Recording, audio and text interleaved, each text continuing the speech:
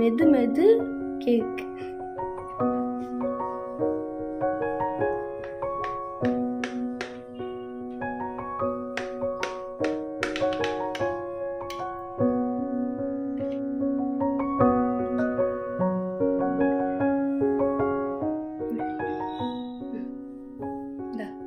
Taste பண்ணுங்க.